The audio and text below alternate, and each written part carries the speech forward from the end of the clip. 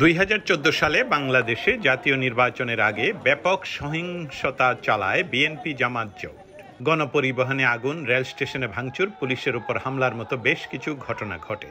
এ ঘটনার পরিপ্রেক্ষিতে দুই হাজার আঠারো সালে কানাডার একটি আদালত এক বিএনপি নেতার রাজনৈতিক আশ্রয়ের আবেদন প্রত্যাখ্যান করে। একই সঙ্গে বিএনপিকে সন্ত্রাসী সংগঠন হিসাবে অভিহিত করে কানাডার ফেডারেল আদালত। আসছে জাতীয় নির্বাচন ঘিরে আবারও আন্দোলনে নেমেছে বিএনপি ও তাদের সমমনা এরই মাঝে বেশ কিছু সহিংসতার ঘটনা ঘটেছে দলটির বিভিন্ন আন্দোলন কর্মসূচি ঘিরে। এ বিষয়ে মার্কিন স্টেট ডিপার্টমেন্টের নিয়মিত ব্রিফিংয়ে বিষয়টি তুলে ধরা হয়। প্রশ্নের সরাসরি উত্তর না দিয়ে মার্কিন মুখপাত্র মেথু মিলার বলেন, নির্দিষ্ট কোনো দলকে সমর্থন করে না যুক্তরাষ্ট্র। বাংলাদেশে একটি নিরপেক্ষ, সুষ্ঠু নির্বাচন দেখতে চায় দেশটি। নগদ আসার পরে এখন দিনে বাঁচে আশি টাকা। দুই বছরে সাতান্ন হাজার ছয়শো টাকা।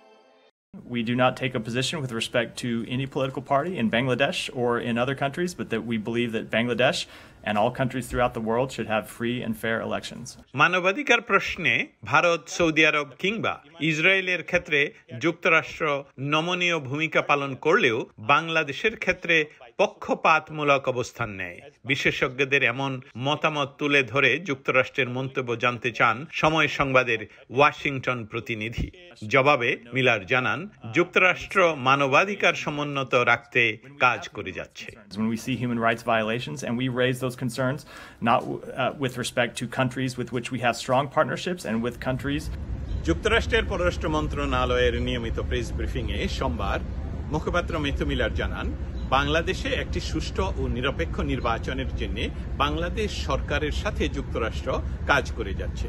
নির্দিষ্ট কোনো দল বা ব্যক্তির জন্য নয় যুক্তরাষ্ট্র সর্বদাই বাংলাদেশে একটি সুষ্ঠু নির্বাচনের পক্ষে কাজ করে যাচ্ছে। নগদ আসার পরে এখন দিনে বাঁচে আশি টাকা। দুই বছরে সাতান্ন হাজার ছয়শো টাকা।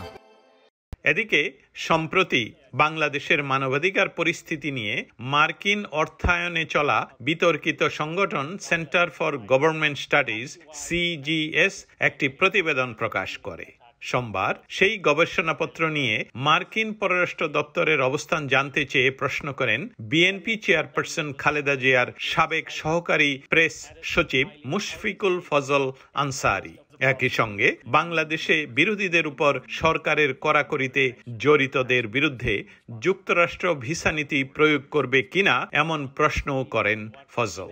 মেথু মিলার বিষয়টি নিয়ে নির্দিষ্ট করে কোনো মন্তব্য করা থেকে বিরত থাকেন। জানান ভিসা নীতির বিষয়টি আগেই পরিষ্কার করা হয়েছে Secretary Blinken made clear when he issued the policy on May 24th uh, these visa restrictions would apply to anyone who undermines the democratic election process in Bangladesh. নতুন করে আর কোনো নিষেধাজ্ঞা আসছে না বলেও জানান মেথিউ মিলার দস্তগীর জাহাঙ্গীর সময় সংবাদ স্টেট ডিপার্টমেন্ট ওয়াশিংটন ডিসি